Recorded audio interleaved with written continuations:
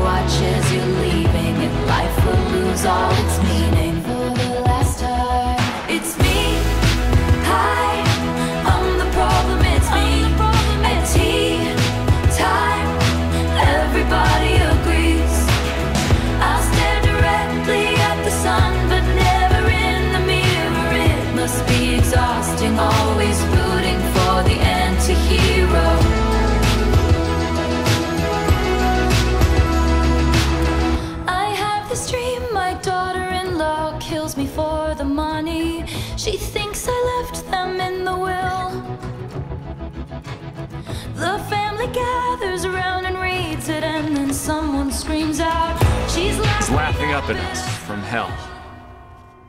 What? What does it say? It's the worst. But who got the beach house? She's having it turned into a fing cat sanctuary. What? Cats don't even like the beach. What about the rest of the assets? I flew all the way here from Ibiza! To my children, I leave 13 cents. No! Wait, wait, wait, wait, wait, you guys. There's probably a secret encoded message that means something else! Yeah, yeah, yeah, that's what mom would always do. P.S. There's no secret encoded message that means something else. Love Taylor. Okay. Great. Well, good job, Chad. You finally pushed it too far.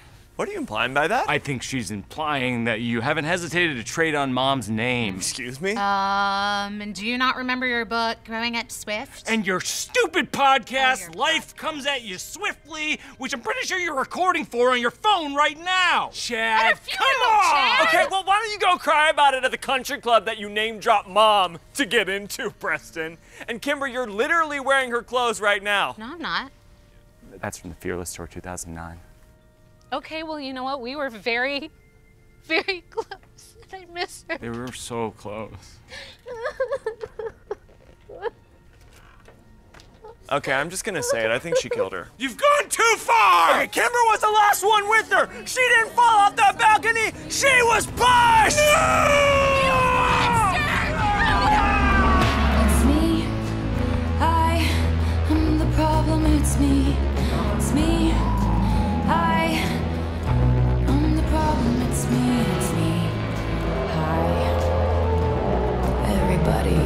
Everybody.